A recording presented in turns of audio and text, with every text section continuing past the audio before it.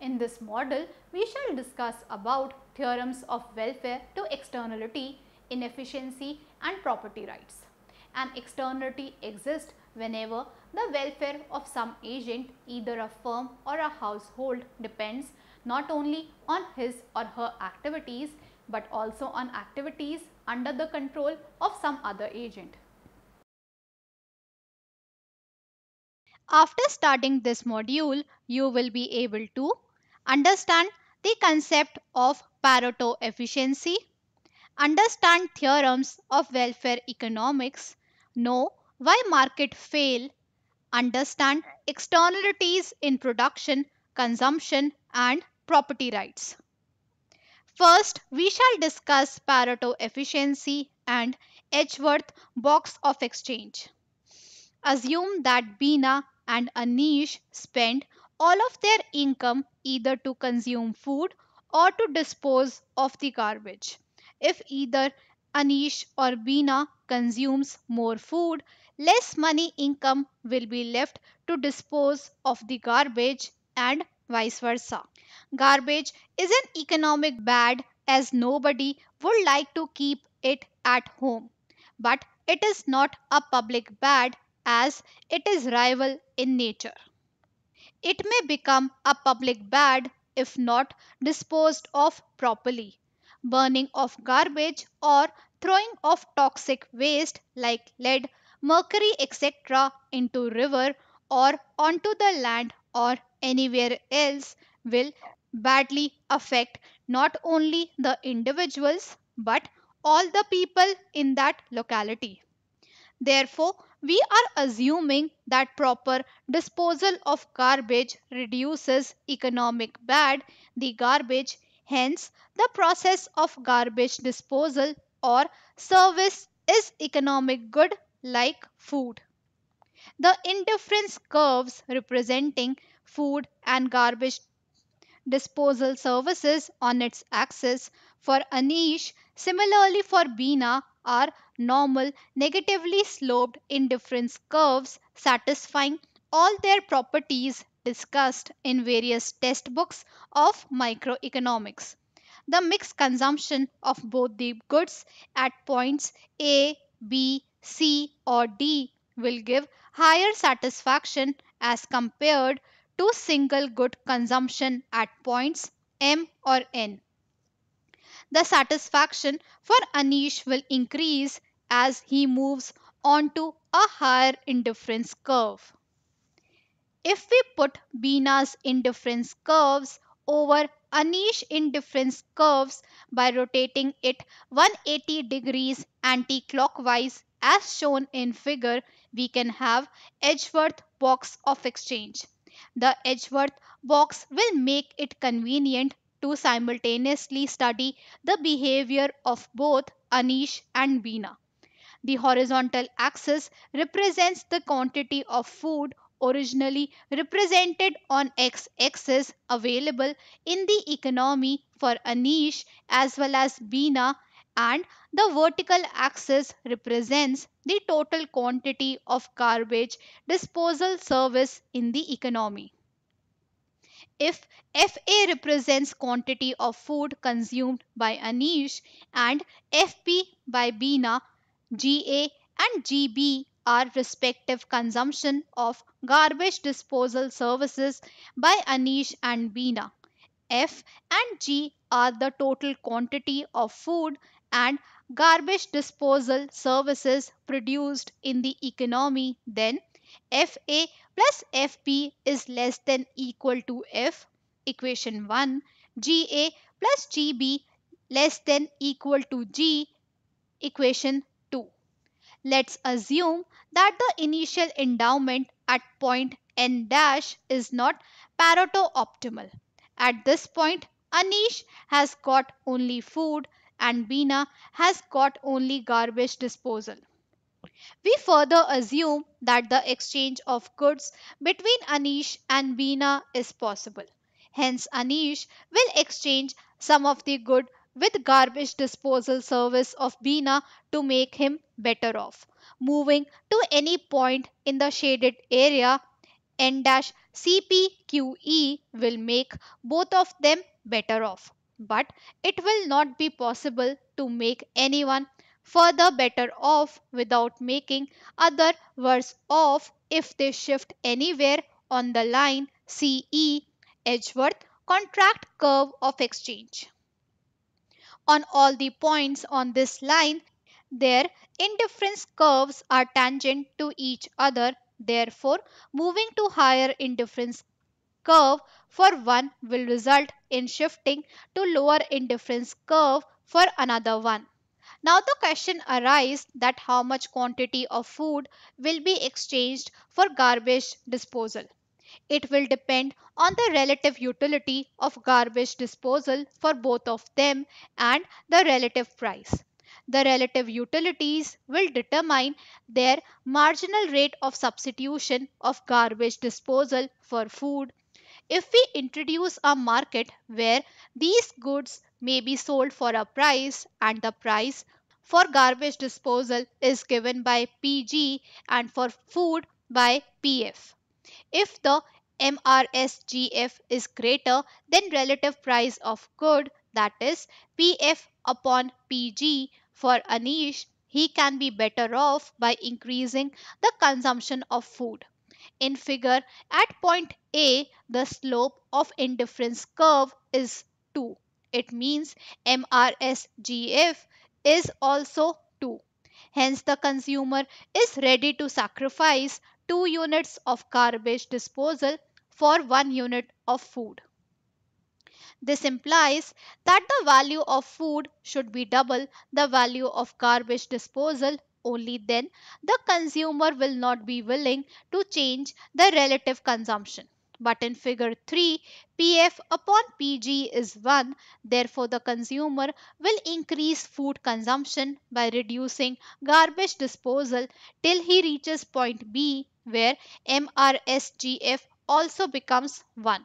From this, we may conclude that Explanation 1. A consumer may be made better off by redistribution unless the marginal rate of substitution slope of indifference curve and the relative price slope of budget line are not the same. When the indifference curve is tangent over the budget line, we can't make Anish similarly Bina better off, hence the equilibrium. In figure, line N dash M dash is the budget line for both Anish and Bina as it is starting from initial endowment point for both of them. By rotating clockwise and anti-clockwise, we find a position of the budget line where the indifference curves of Anish and Bina are tangent to each other as well as the budget line N dash M dash. Point E star on this budget line is such a point where MRS Anish is equal to negative PF upon PG is equal MRS Bina. This point represents efficiency in exchange as we can't make anyone better off without making other worse off and both. Anish and Bina are willing to sacrifice the same quantity of garbage disposal for food. Therefore, they are satisfied with present allocation at point E star.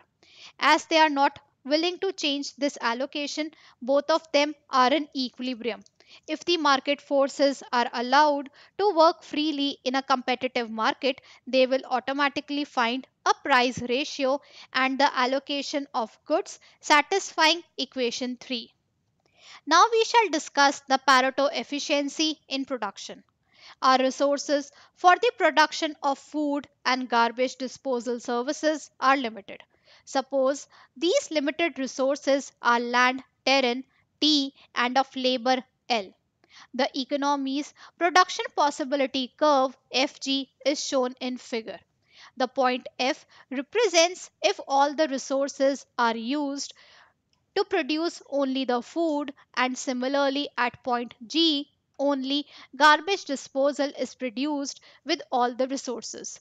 The slope of production possibility curve on any of its point is marginal rate of transformation of food for garbage disposal.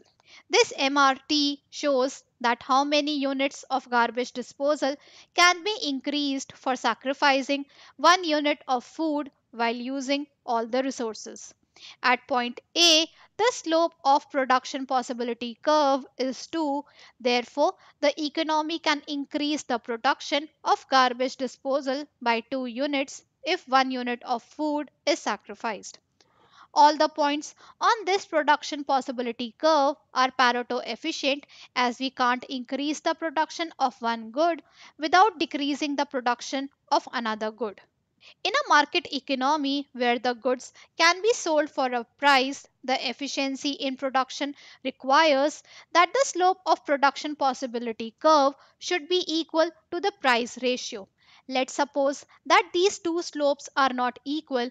Price of food PF is rupees 5 and the price of garbage disposal PG is also rupees 5 so that PF upon PG is equal to 1 and the MRT is 2.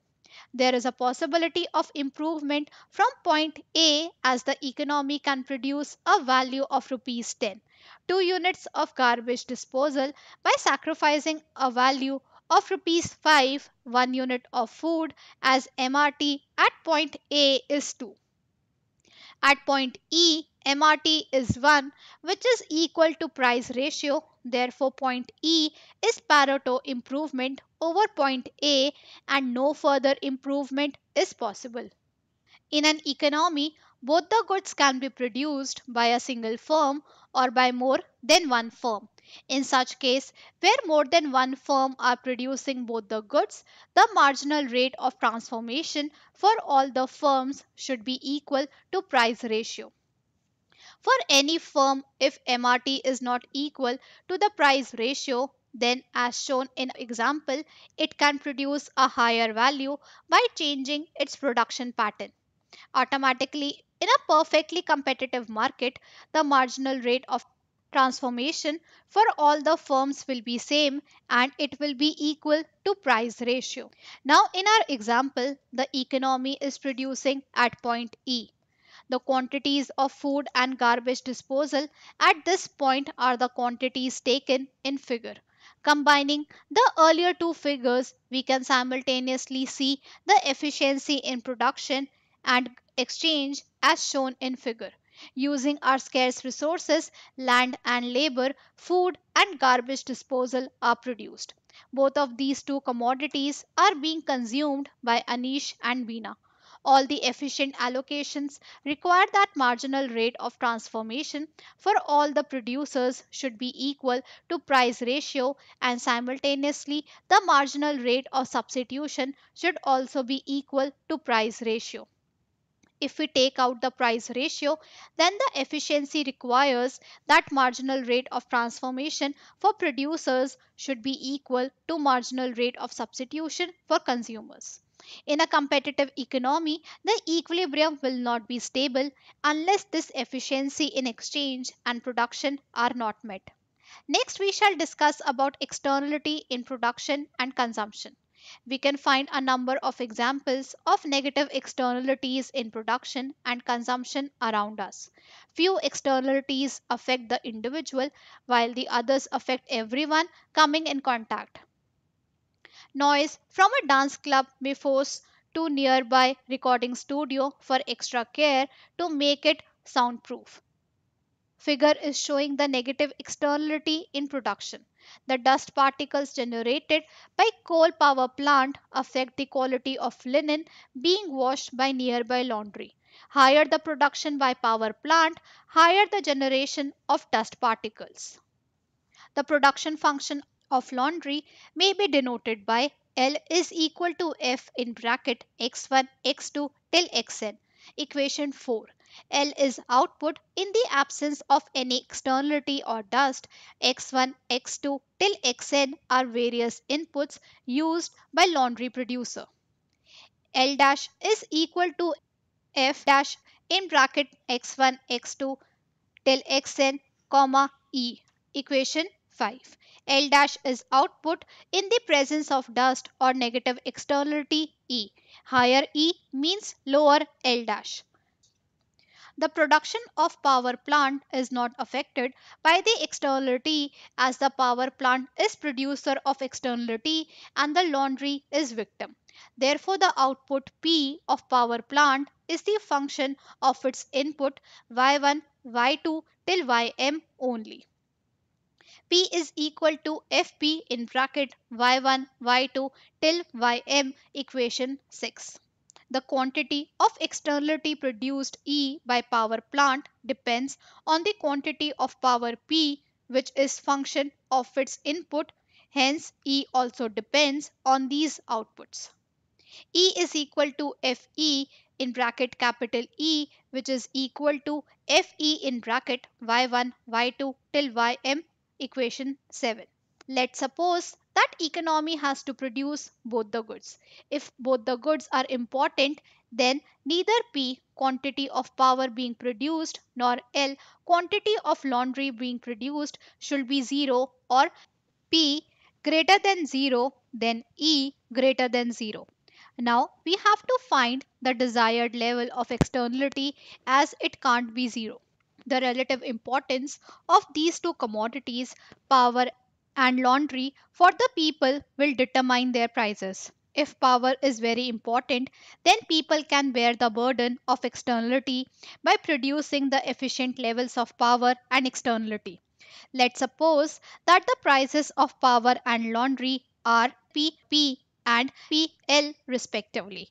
Now, if power plant is producing at its maximum capacity, then externality will also be maximum and this will reduce the value of laundry.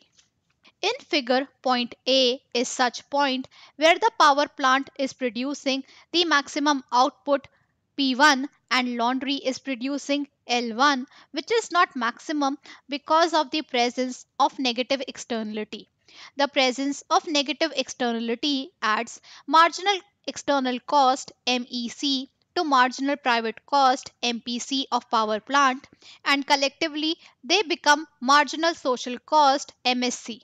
MEC plus MPC is equal to MSC equation 8. In the absence of well defined property rights, market prices fail to capture the spillover effect of externality and the outcome of a free market is either overproduction in case of negative externality or underproduction in case of positive externality. In such case, a third party intervention government is needed to achieve the efficiency.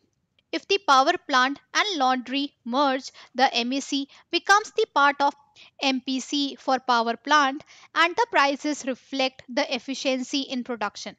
After merger, the efficient level of output of power and laundry are denoted at point B where the total value V is maximum.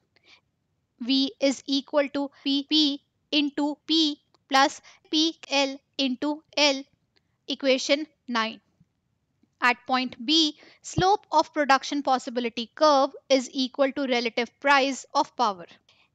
At point B, the quantities of power and laundry produced are P2 and L2 respectively.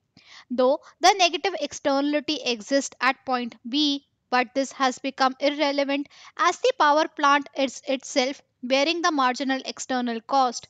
At point A, the power plant is bearing only the private cost of production and the laundry has to bear the cost of externality.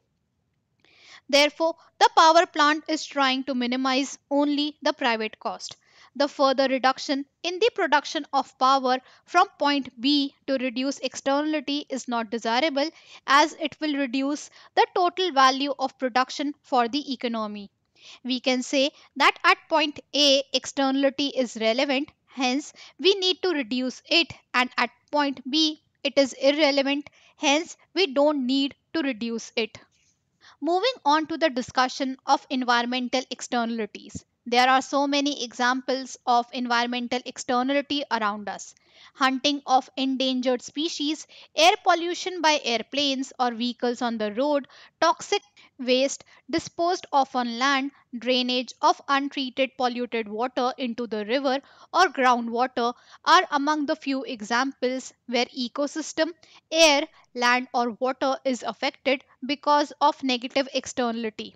In all these cases, MPC is much lower as compared to MSC in these examples. Not only the present generations have to bear the cost of externality, but also the future generations will have to bear it. It is quite possible that MEC is much higher than our expectations. Assume that the private market for textile manufacturing is perfectly competitive. Textile manufacturing require large amount of water for its production process. Further assume that these manufacturing units are disposing of its wastewater without treating into the groundwater. The supply and demand curves for the industry are denoted by following linear equations. Supply P is equal to A plus BQ, equation 10, demand P is equal to C minus DQ. Here, the supply curve also represents the marginal private cost as the presence of externality makes private cost different from social cost. The demand curve also represents marginal private benefit. We also assume that the agency supplying the water to the city is using this groundwater for water supply. The externality will increase the cost of water treatment, hence, this is production externality. The production externality affects the supply curve, which is also MPC, and the consumption externality affects the demand curve, which is also marginal private benefit curve MPB. The equation 7 and 8 may be written as MPC is equal to A plus BQ, equation 12. MPB is equal to C minus DQ, equation 13. Figure is showing the competitive equilibrium of textile manufacturing. Point E represents equilibrium quantity and price. Here the market fails as this equilibrium is ignoring the externality. Though it is quite difficult to estimate the cost of externality, but there are many methods in economics to determine the approximate cost. Suppose the marginal external cost MEC is increasing function of quantity of textile MEC is equal to EQ equation 14. From these equation we can find the equation for MSC. MSC is equal to MPC plus MEC equal to A plus BQ plus EQ is equal to A plus in bracket P plus E into capital Q equation 15. We can find the efficient equilibrium if we consider the point of intersection of MPB and MSC instead of MPC to find the equilibrium. The new equilibrium point E1 in figure is just like point B of figure 8. The externality at this point E1 has become irrelevant. We can easily find the welfare gain to the society. From the perspective of the firm, there is loss in the profit equal the area of triangle EE1A. From the perspective of the society as a whole, there is a gain equal to the area of rectangle EAE1B. The net gain is the welfare gain to the society minus profit loss to textile manufacturing and that is represented by the area of triangle EE1B. Let us now summarize what we have learned in this module. An externality exists whenever the welfare of some agent, either a firm or a household, depends not only on his or her activities but also on activities under the control of some other agent. A consumer may be made better off by redistribution unless the marginal rate of substitution, slope of indifference curve and the relative price slope of budget line are not the same. First theorem of welfare economics states that in a competitive economy, the allocation of resources will be Pareto efficient or the market equilibrium will be Pareto optimal. Second, theorem of welfare economics states that the Pareto optimum equilibrium or the allocation can be achieved by market forces in a competitive market by redistribution provided that the resources are appropriately distributed in the beginning. Markets fail in the presence of externalities as the prices do not reflect cost or the benefit accrued by third party.